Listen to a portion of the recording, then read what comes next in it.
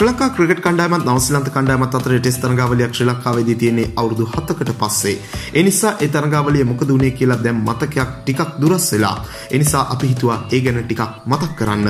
මේ තරඟාවලියේ පළවෙනි තරගයේ තියෙන්නේ ගාල්ල ජාත්‍යන්තර ක්‍රීඩාංගණයේ කාසිවාසී දෙන්න නවසීලන්ත නායක රොස් ටේලර් මුලින් පන්දුවට පහර දෙන්න තීරණය කළත් නවසීලන්ත ඉනිම ලකුණු 221කට සීමා කරන්න රංගන හේරත් ප්‍රමුඛ ශ්‍රී ලංකා පන්දු යවන්න සමත් වෙනවා. නවසීලන්ත ඉනිමේ වැඩිම ලකුණුලාභිය බවට පත් වෙන බ්‍රෙන්ඩන් මැකලම් ලකුණු 63ක් ලබා ගනිද්දී රංගන හේරත් කඩලු පහකුත් ශමින්ද එරංග කඩලු තුනකුත් දවා ගන්න සමත් වෙනවා. නවසීලන්ත පන්දු යවන්න හමුවේ ශ්‍රී ලංකා කණ්ඩායම ලකුණු 241කට දැවී යද්දී නායක මහිල ජයවර්ධන ලකුණු 91කුත් ඇන්ජලෝ මැතිව්ස් ලකුණු 79කුත් ලබා ගන්න සමත් වෙනවා. පන්දුවෙන් වැඩ පෙන්වන ටීම් සෞති කඩලු 4කුත් ජීතාන් පටේල් කඩලු 3කුත් දවා ගන්න සමත් වෙනවා. නවසීලන්ත දෙවෙනි ඉනිම කිසිම ප්‍රතිකරුවෙකුට ලකුණු 20 සීමාව පහු කරන්න ශ්‍රී ලංකා පන්දු යවන්නන්ගෙන් අවස්ථාව නොලැබීමත් එක්ක නවසීලන්ත කණ්ඩායම දෙවෙනි ඉනිම දැවී යන්නේ ලකුණු 118කට. නවසීලන්ත ඉනිම බිඳ දාන්න වැඩි සේවයක් කරන රංගන හේරත් කඩලු 6ක් බිඳ දාද්දී කුලසේකර රන්දිව් දෙපළ අතරේ කඩලු දෙක බැගින් බෙදී යනවා. පළමු ඉනිමේ වාසියක ශ්‍රී ලංකාවට ජයග්‍රහණයට අවශ්‍ය වෙන්නේ ලකුණු අනු තුනක් විතරයි. මේ ලකුණු අනු තුන කිසිම කඩුලක් මැදවී ලබාගන්න ශ්‍රී ලංකා කණ්ඩායම පළවෙනි ටෙස්ට් තරගයේ කඩලු 10ක ජයක් ලබා ගන්න සමත් වෙනවා. දෙවෙනි ඉනිමේ දිමුත් ලකුණු 60ක් නොදවී ලබා ගන්න සමත් වෙද්දී පර්ණවිතාන් ලකුණු 31ක් ලබා ගන්න සමත් වෙනවා. ජයග්‍රහී විදියට තරගාවලිය ආරම්භ කරන ශ්‍රී ලංකා කණ්ඩායම පිස්සරා ක්‍රීඩාංගණයේ තියෙන දෙවෙනි ටෙස්ට් තරගයේ කාසිවාසී පරාජය වීම නිසා මුලින් පන්දුවට පහර දෙන අවස්ථාව ලැබෙන්නේ නවසීලන්ත කණ්ඩායමට.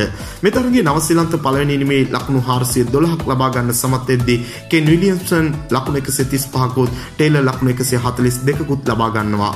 පන්දුවෙන් නැවතත් සාර්ථක වෙන රංගන හේරත් කඩලු 6ක් දවා ගන්න සමත් වෙනවා. මේ තරගයේ ශ්‍රී ලංකාව තමන්ගේ පළවෙනි ඉනිමට ලබා ගන්නේ ලකුණු 244ක් විතරයි. ශ්‍රී ලංකා ඉනිමේ වැඩිම ලකුණුලාභිය බවට පත් වෙන්නේ තිලන් සමරවීර.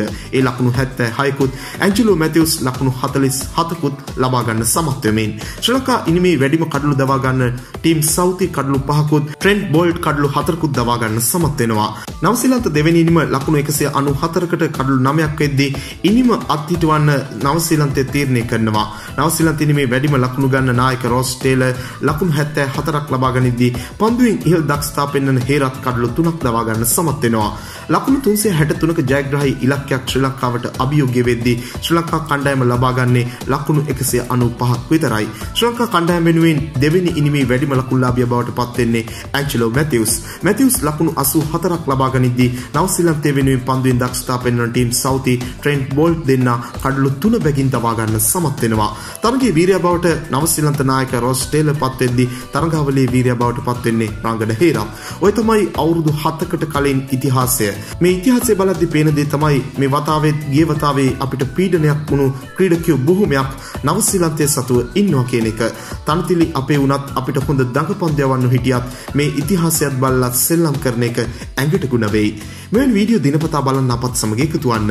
ඔබ තවමත් අපේ channel එක subscribe කරලා නැත්නම් දැන්ම අපේ subscribe කරන්නත් ක්‍රිකට් වලට කැමති ඔබේ යහළුවෙකුට බලන්න මේ වීඩියෝ එක share කරන්නත් අමතක කරන්න එපා. ක්‍රිකට් පිටියේ නැවුම් දෙස් අපරේ තවත් අලුත් වීඩියෝවකින් හමු වනතුරු ක්‍රිකට් ලංකාවෙතින් ඔයාට සුබ දවසක්.